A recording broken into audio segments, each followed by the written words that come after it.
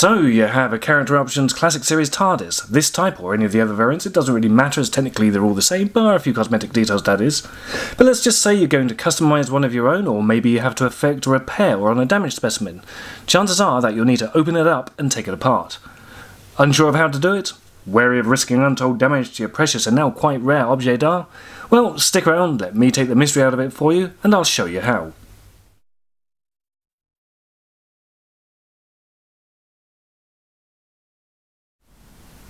Welcome back ladies and gentlemen to the workshop. And here on the workbench as you can plainly see I have a Character Options 1980s TARDIS.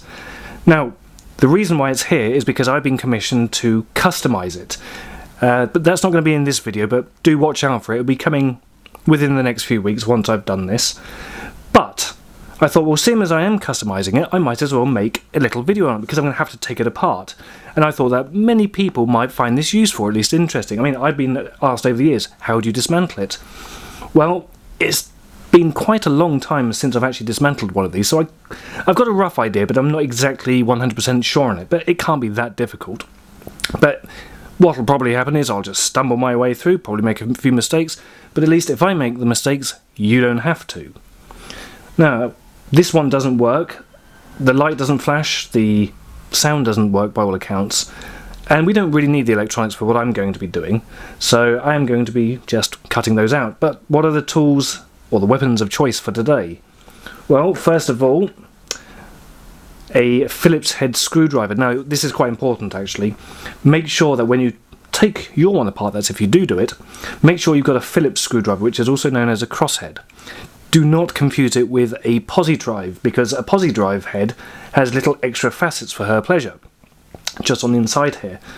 These in here are all crossheads and the other thing you want to make sure of when you choose your screwdriver make sure it sits perfectly in the in the screw head. If it's too big or if you're using a posi-drive what's going to happen is as you twist this thing around it's going to slip out and round the end of the head off and that's going to just introduce you into a world of pain and nobody wants that. So do make sure you've got an appropriately sized Phillips or crosshead screwdriver. My other weapon of choice for today is just a simple pair of snips for cutting through the wires because we don't need the wiring or any of the circuitry. I'm going to rewire it up slightly differently myself and a little receptacle to put all the bits in. So let's just crack on with this and get in through the bottom. Right, roll your sleeves up, we're going in deep, we're going in through the bottom. So let's just do lefty loosey, not righty tighty. Put that over there. There's only four screws in this bit. However, I've got to be cautious because when I take this off, there's a spring mechanism just behind here, so I've got to be wary of that. I don't want that pinging out going all over the place. That's the mechanism that uh, makes the door spring open and closed. So we're going to have to be a bit judicious and careful. Do not lose the screws because we may need them later. It's quite possible that I won't be using these anyway. But I can feel this already wanting to ping off, so let's just take it easy. There it is, it's already fighting me. And there we go, there's that off. As you can see, here's all the parts, that's the, the spring release for the door. There's the mechanism that allows it to click open and closed. I mean, this one doesn't actually work terribly well anyway. It doesn't ever seem to want to stay open. Uh, there's your main master on-off switch. We can take that right off now. That comes off. That can go in there. There's your uh, dematerialization and rematerialization switch. That's just I think that was just on a spring on a little switch here. And then there's your main motherboard if you want to call it that where all the electronics go inside it to the speaker and to the light at the top. So as you can see there's some more uh, screws here but let's just take that out. There's your release. Don't need that. Don't need this just realised I need a different type of screw. Oh, no, no, no, no. I can get that out. Take the spring out. Again, this is a screw that is screwed directly into the pivot of the door. and wrapped around that is a coiled wire that comes up to here and that that's basically your spring to allow the door to go in and closed open there you go in and spring back so I do need to remove that let's just do that now. Hold the door. There it goes. That, that was the spring clicking out. I don't need any of this I don't think because I think I'm going to replace all this anyway. There's the spring. Need to just undo that one there. Come on in you go. And it's at times like this when I realise I'm not wearing my glasses and I really should be and take that spring out. That can go in there. What else can come undone? And let's try doing this. So these are screwing the base plate into the corner post. There's one.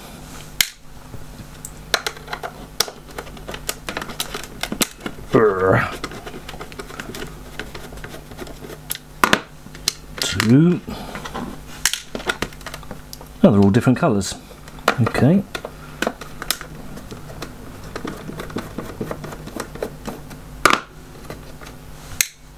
three, and four. If you ever get a screw that's stuck, sometimes it's a good idea to go righty-tighty and then lefty-loosey. Or if it's really stuck, get a bit of WD-40 and just squirt it in there. But for something like this, it should be okay. The toy isn't that old. So, now, I need to start taking this base off. Easy, easy. Oh, there we go. Being gentle with it. Treat it like your missus.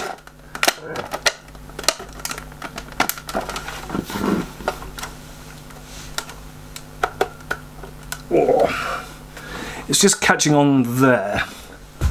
Let me try moving it down this way. Take this door out of the way, don't need that. I don't want to snap the pin unless there's... Is there another one in there? Nah. Yeah. I mean, it doesn't really matter to be honest because I'm not going to be using this base anyway on the conversion, but let me try and persuade it.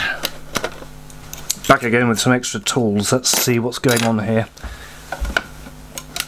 Can I slide that in? There we go. And What's holding it now? Just turn it around. Oh, it's quite possibly, yeah, it's the electronics by the looks of it.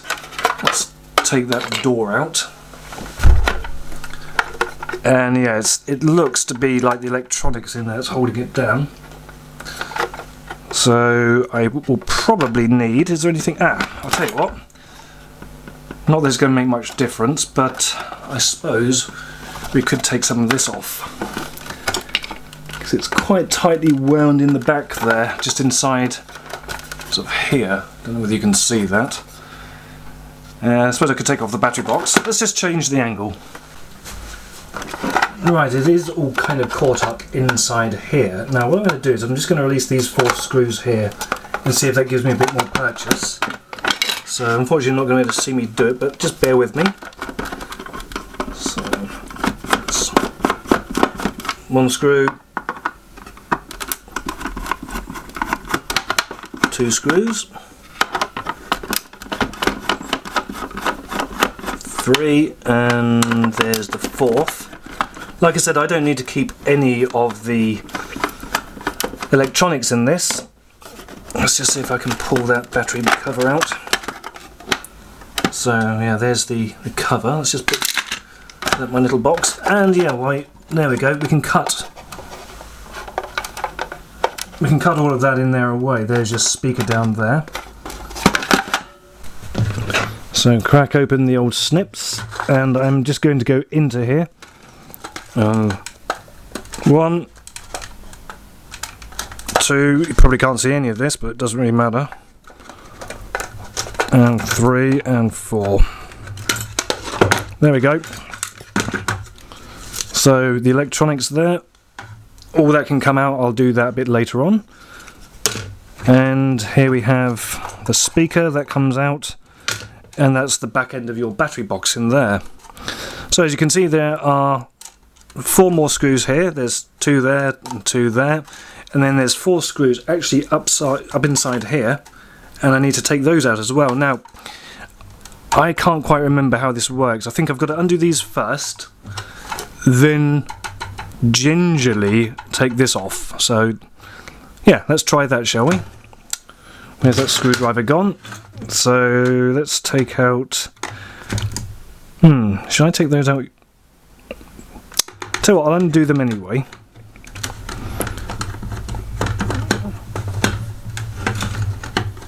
One.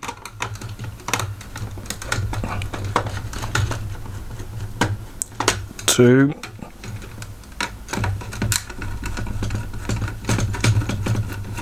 Three. Let's put those over there. And then take out the fourth one.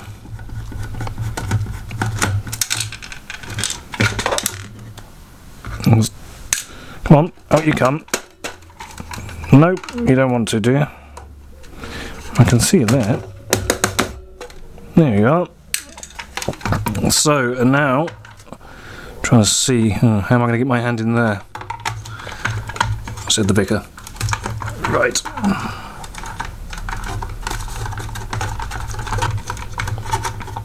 Really I could do with a longer reach screwdriver, but I haven't got one that's small enough, as in head size. It's alright, just you watch me struggle, it's fine.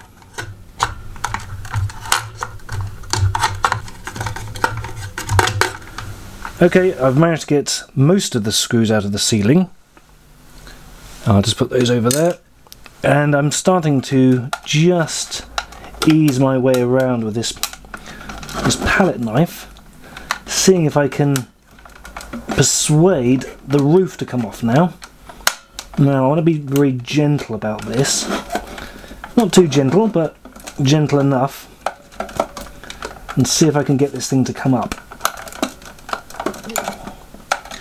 What you don't want to do is force it too much, otherwise the plastic could well crack and we don't want that happening.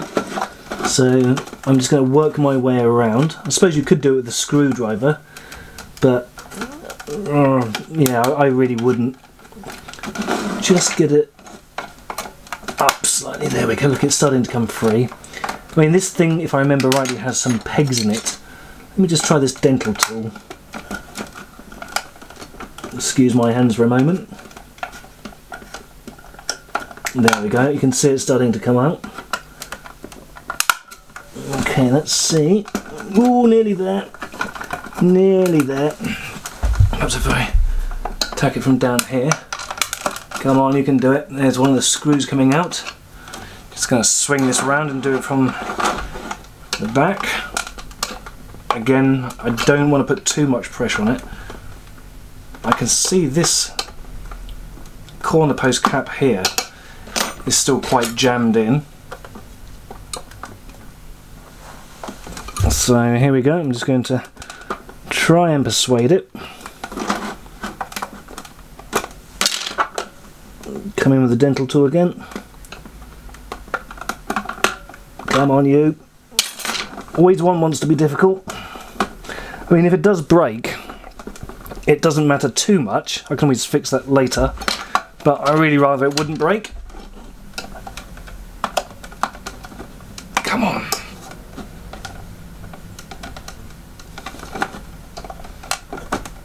Come on, you.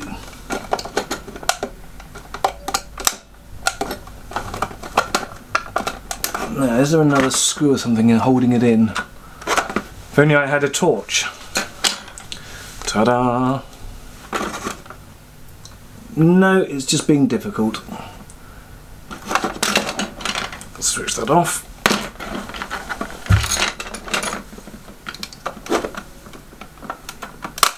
There we go.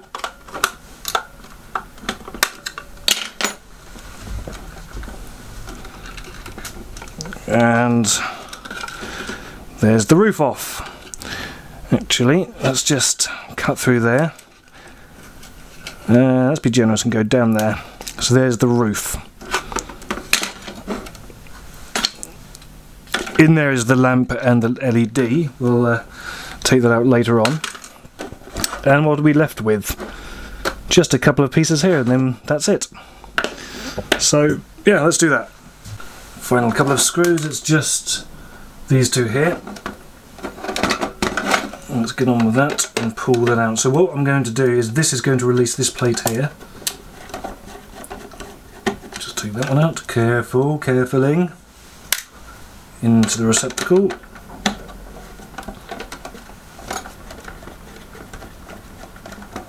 There we are. Take that out. Now that should have released this frontispiece. There we go. That's off. That can go over there. And now, let's see if I can slide this all out. There you go, that's the plate that holds the whole thing together. Uh, there's your little door spring there. Could take that apart as well, I guess. Now let's take the walls apart now. How does that happen? Uh, here's where my memory is failing me. I think, does that pull out that way? I can't remember. Oh, there you go. This one just slides out that way. Actually, I can see two screws down here. Let's put those over there before we lose them. So, there's one plate there. That just sort of slid out. Now, let's see if I can do the same with this one. Ah, there you go. There.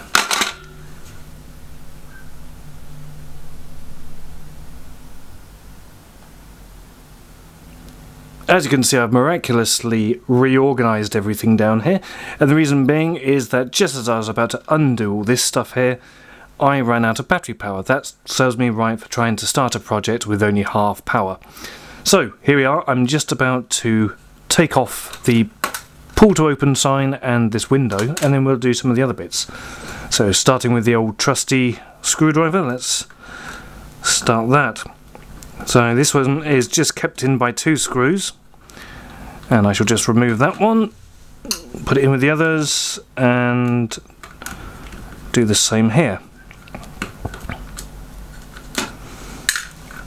Now you'll see that just lifts off like that. There's your little phone piece and inside there is the door that just pops out and it's the same with the window that just drops out. Now looking at all the other windows for example these ones here they don't come apart as easily as this one. They're actually glued in. This little piece here is glued in. Now while I was waiting for the battery to charge I did have a little test and I sort of put this in there and uh, tried to persuade it out with these one is sort of at a point where I could potentially break it off, but all the others aren't, so for this purpose I'm not going to bother pulling them apart. However, you may be luckier, yours may not be glued in as well as these are, so you could in theory take those parts out. So anyway, I've done that, so let's just put those over there, pop these away in our little safety jar. And what else can we do? Let's let's look at the roof. So the roof is essentially three pieces. It's this, the lamp piece, and the mechanics, well not the mechanics, the electronics inside. So again, just a couple of screws. I'm going to pull this out. There's one. And the second one. Pull that out. So now I'm going to take that out. And there it is. So there's your LED there. I might check that later and see if that's actually still working. So that can go away. And then your lamp. It's just a piece that clips up inside there. Now there is a specific way around. And that goes in that way. Now you may be wondering why there's this circular piece here. Well that is actually part of the design. There was a a lower piece and an upper piece. So for that, I'm going to take those away and plonk that up there. What else can we take apart? Uh, I'll tell you what, we'll come to that one in a minute. Let's do the easy piece, and that's this one. This is the little spring for the, uh, for the pull to open panel door. So that sits in like that, and doop. So, yeah, I might as well take that out. I mean, I'm never going to use it in the custom, so let's just take that out. And I can afford to do that.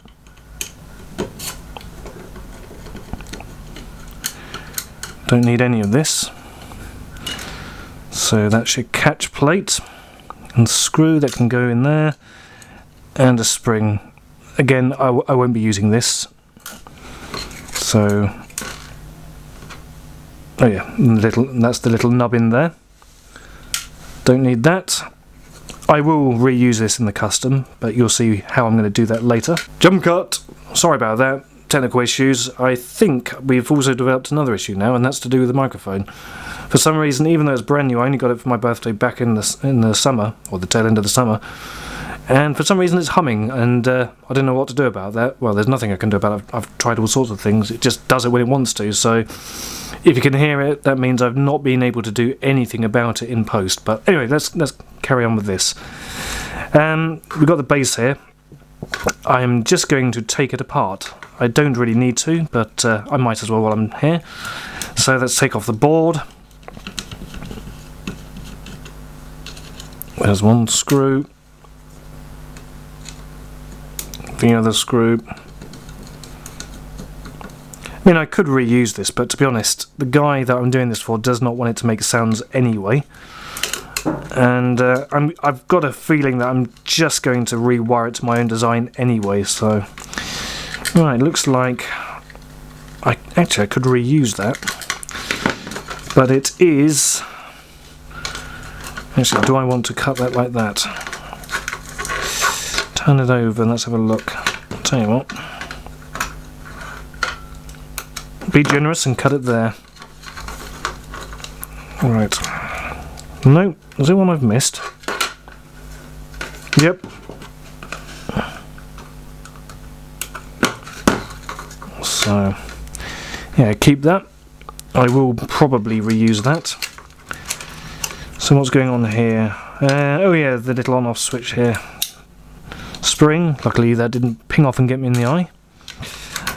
Uh, this is all hot glued, that's soldered on so that can come off. There's the board. That pretty much can go in the bin because I'm never going to use that. And then this little, it's like a reed switch. In fact it is a reed switch. Can't get that out for some reason. Hmm.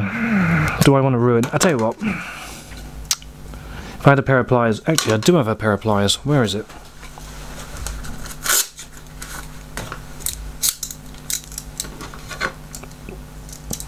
Sort of a, a Leatherman knockoff. It was given to me back in the mid 1990s by my childhood best friend. Yeah. Nope, doesn't want to come out. It may not want to, but it damn well is. No, okay. There we go. So as you push your little button, your dematerialization button, it opens and closes that little contact there. That can go in the bin. And that is everything dismantled. The whole lot. Hooray, the hum's gone. All it took was for me to take the extension cord out from the mic. But anyway, the TARDIS. It's completely disassembled into all its constituent parts, and it was a lot easier than I thought. So hopefully it gives you the courage to go and do yours if you need to. So whether you're customizing yours or you need to run some sort of repair, now you know how to take it apart. Taking it apart is easy, putting it back together is an entirely different matter, so hopefully you remember once you've done it one way, you can do it the other way just in reverse. So, as always, thank you so much for watching. I hope this video has been helpful or useful or at least entertaining to you, and I shall speak to you again soon.